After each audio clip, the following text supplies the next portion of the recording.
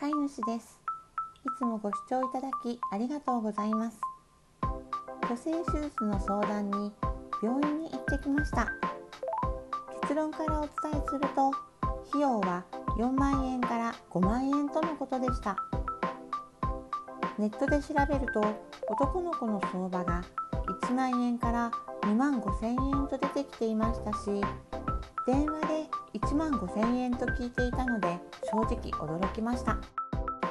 セカンドオピニオンで他の病院に行くことも考えましたがかかる費用の詳細を先生がきちんと説明してくださり安心してお任せできると納得できましたので今回相談したこの病院で手術を受けることにしました。先生との相性もとても大事だなと思いました。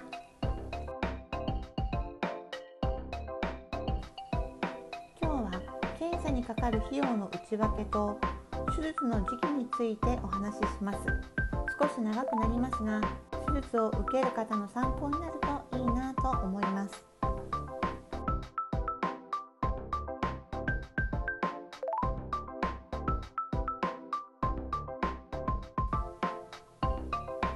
女性手術にかかる総額猫の男の子の場合ですが手術前の費用が1万円ちょっと。これは麻酔のための血液検査と心臓のレントゲン検査。手術の費用が1万5000円で手術代と麻酔代。術後の費用として1万円から2万円カラー。点滴術後のお薬合計が4万円から5万円ということでした。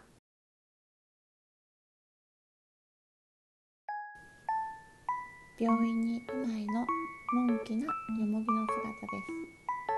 気がつくといつもこういう隙間に入って遊んでいます。どういうふうに入ったんですかね。一生懸命電話をしているけど出れるかな？お出れました。ではベッドキャリーに入ってもらいたいと思います。最近病院に行く時に入っているのですんなり入ってくれるといいんだけどな。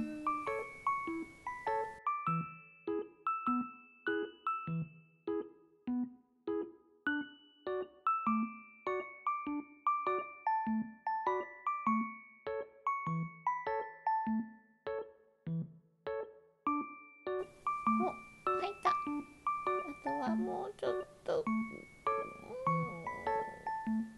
入らない。理やり上から入れました。ペットキャリーはいろんな形があって手に持つタイプもいいなと思ったんですけど災害時に手に持つのは難しいかなと思ってリュック型にしました。病院から戻ってきました。先生にいろいろ教えていただきました。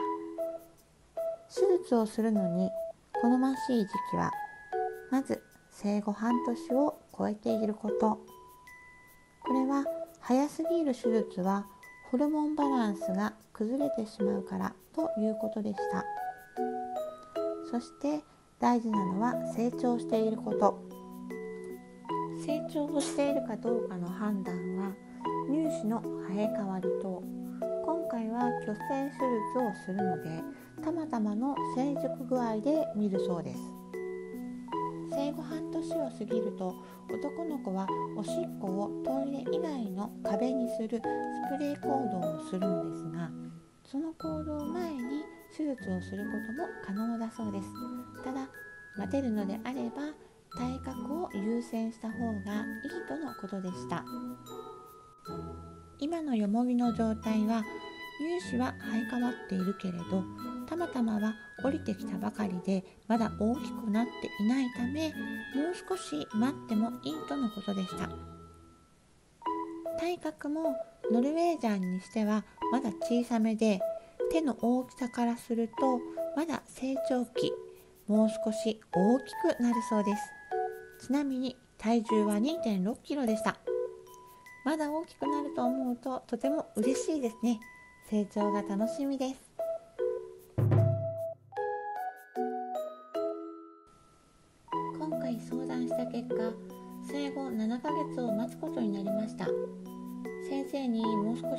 しますか？と聞かれてずっと黙っていた旦那様が「はい」と即答してました。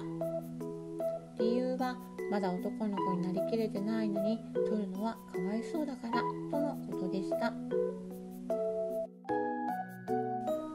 1ヶ月後に検査をします。女性手術代は思っていた以上にかかりますが麻酔でそのまま起きなっちゃう子も。いると聞くと金額よりも信頼できるかの方がよっぽど大事だということに気づかされました。ともぎごめんね。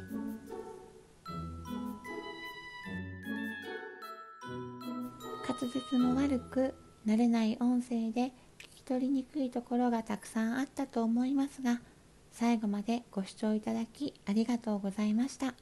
またチャンネル登録をしていただいている方いいねを押していただいている方励みになります。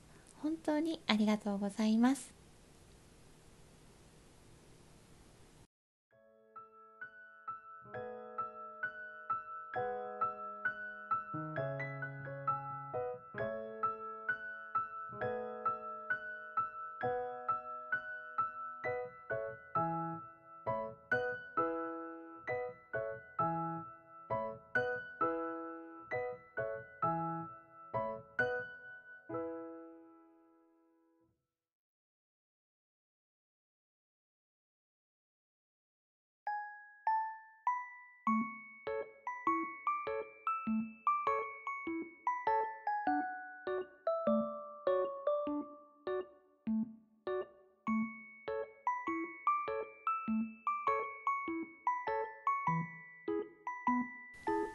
よもぎの成長の話で触れた。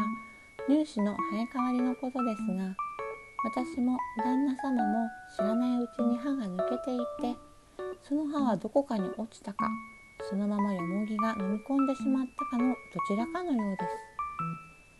先生が言うには他の飼い主さんで偶然歯を見つけた方は記念に取っている人もいるそうですよ。先生がもう一度奥歯まで見てくれたんですがやっぱりよもぎの歯は全部生え変わっていたようです。よもぎの歯は見たかったな。45ヶ月くらいの子猫の飼い主さんはお掃除をする時に注意をして見ていたら床に歯が落ちてますよ。知らんけど